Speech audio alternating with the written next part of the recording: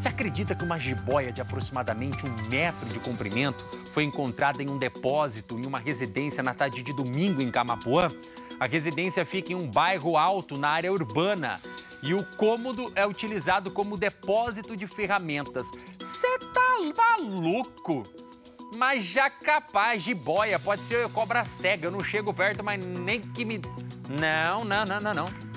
O morador que encontrou a cobra relatou que acredita que a jiboia estaria no local alguns dias. O animal foi retirado e encaminhado ao batalhão da Polícia Militar e depois entregue à Polícia Militar Ambiental. Mas você imagina o susto, né? O susto, uma cobra dessa. Olha o tamanho dessa cobra, grande, né? E claro, tem que ter todo o cuidado, todo, todo o, o preparo para poder capturar um animal como esse, né? A jiboia, ela tem veneno? Não tem veneno, né? A jiboia não tem veneno. A jiboia, ela só ataca ali na, na, mordida e enrola, como todas as outras cobras, claro, mas o, o, o, ela consegue aniquilar a sua presa através da força, né? Ela apertando ali a, a presa dela para poder se alimentar. Outras cobras têm o veneno, que acaba aniquilando é, através do veneno e matando ali para que possa se alimentar. Mas jamais que eu chegaria perto de uma... Mas não chego mesmo. Eu contei essa história aqui para vocês o dia que eu fui no, no projeto Gibó em Bonito tem o projeto Gibó em Bonito, né? E aí lá que eu entendi o porquê que aquele ditado fala mais que o homem da cobra. Né? Porque o cara fala bastante mesmo e ele palestra com a cobra no pescoço. Acabou lá a, a palestra e todo mundo é, recebeu uma senha para tirar foto com a cobra.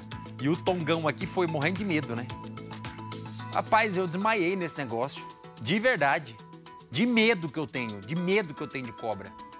Você tem medo de alguma coisa, assim, que você tem pavor, que você não pode chegar perto, que você... achei que já era sacanagem da produção. O Dudu entrou aqui, eu já achei que era sacanagem. Fi, eu tenho, você não tem noção. Você nunca, Natália, você nunca brinque com cobra nesse programa aqui, sério. Não, nunca faça isso. Não, nunca faça, de verdade. O dia que eu fui no projeto de, de boia, te juro por Deus, eu desmaiei. Ah, Bruno, você é frouxo. Sou.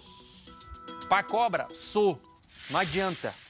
Você tá louco, rapaz. Não, não gosto. Nossa senhora. Eu Aqui filme de cobra eu não assisto.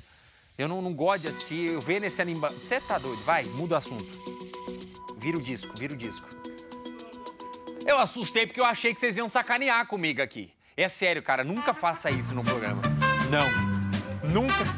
Aqui nunca jogue a cobra em cima. Não, não vem não. não. É o menino de papai. Você tá é? louco. É, vai.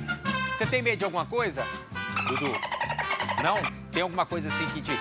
Que... É, é porque tem pessoas que têm medo, outras pessoas têm pavor. Meu caso é pânico. Ai, pai, para! Você tem medo de onça? Diz que ele tem duas, a, a mulher e a filha. É, filho, mas ainda você consegue conviver, né? Tá tudo bem.